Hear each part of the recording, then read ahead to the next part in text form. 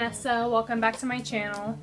Today is a book suggestion video because people are always wanting to know some good books that they should read. So I put together a list of my favorite books, their descriptions, and different elements about them that might interest you into reading them.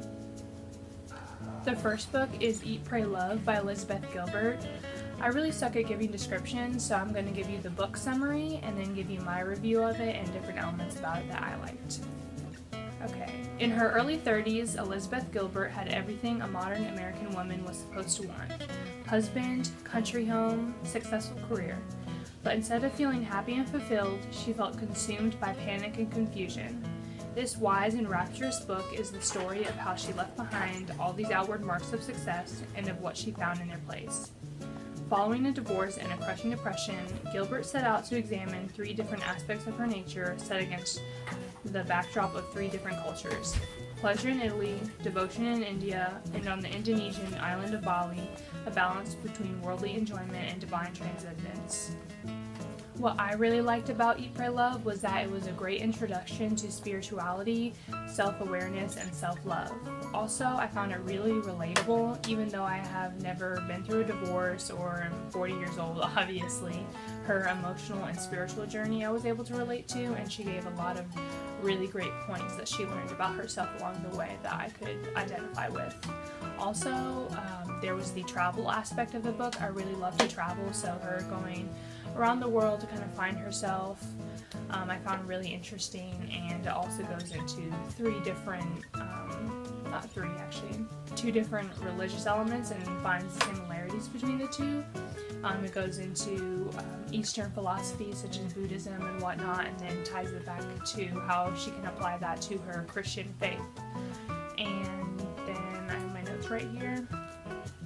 And then the main thing that I liked about the book is that it really taught you that you are in control of your own happiness, and that's one of my main beliefs. So this book just really opened my eyes to a lot of different realizations and teachings that different philosophies and religions have. So I really like that about it.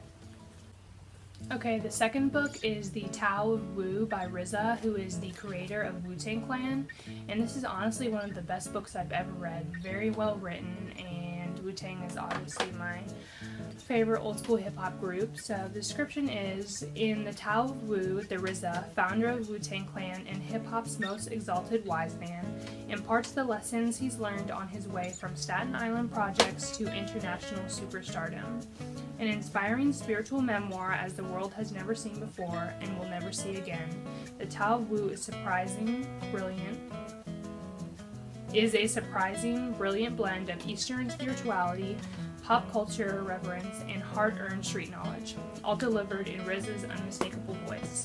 The book also describes how his career path and his spiritual path were directly connected, and how he created his career path be through his spiritual beliefs and uh, this is also a good little introduction into the law of attraction and power of manifestation.